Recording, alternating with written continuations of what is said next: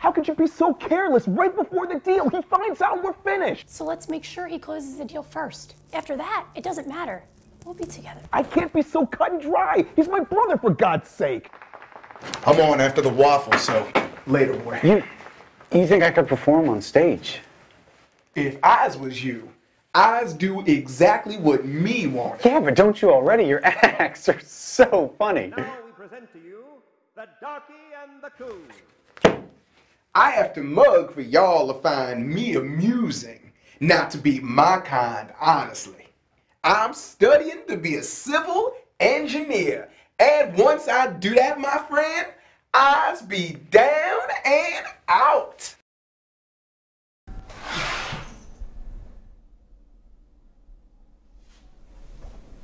Where is she?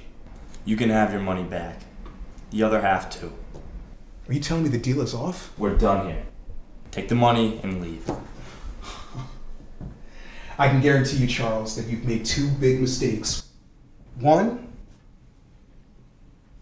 was crossing me. Two was to let that bitch live. You should have killed her during that surgery. And what good would have killing your wife done? That's for me to decide. A, a beautiful flower for a beautiful girl? Here. No, it's okay. Thank you. Ho, ho, ho, ho. Well, I've been standing here trying to sell these and trying to find the perfect lady to give it to. It seems like I found her.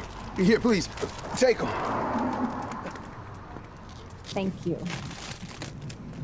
Mm, they smell so good.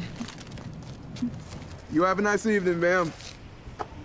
Thank you for the money. You got a lighter? Just shut up. She gave us ten dollars. Yeah, that's my ten dollars.